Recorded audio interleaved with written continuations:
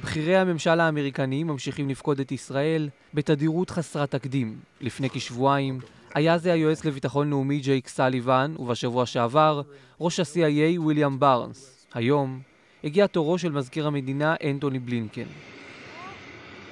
ביקורו של בלינקן מתקיים בצל פיגועי הטרור וההסלמה הביטחונית. בתום פגישתו עם ראש הממשלה נתניהו, מזכיר המדינה האמריקני התייחס לכך בדבריו. We continue to believe that the best way to achieve it is through preserving and then realizing the vision of two states. As I said to the Prime Minister, anything that moves us away from that vision is, in our judgment, detrimental to Israel's long-term security and its long-term identity as a Jewish and democratic state. ככלל, הביקור של בלינקן בישראל הוא חלק מהמסע שלו במזרח התיכון, מסע שהחל אמש במצרים והסתיים מחר בפגישה עם אבו מאזן ברמאללה. הנושאים הבוערים עליהם עידון מזכיר המדינה בזמן שהותו בישראל הם המאבק נגד איראן, המלחמה באוקראינה ויחסי ישראל וערביי יהודה ושומרון. Our policy and my policy is to do everything within Israel's power to prevent Iran from acquiring nuclear weapons and the means to deliver them. And that will remain so.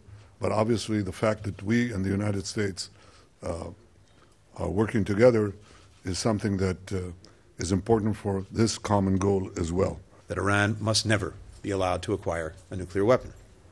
And we discussed deepening cooperation to confront and counter Iran's destabilizing activities uh, in the region and beyond. מחר צפוי בלינקן להיפגש עם נשיא המדינה יצחק הרצוג ועם יושב ראש האופוזיציה יאיר לפיד.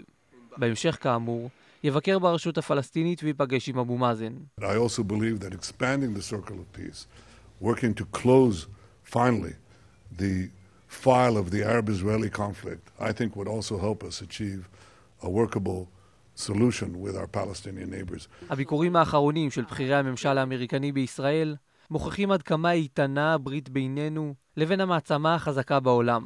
ברית שמהווה עמוד תווך בביטחון הלאומי של ישראל, בייחוד בתקופה כה סוערת ומורכבת. Thank you.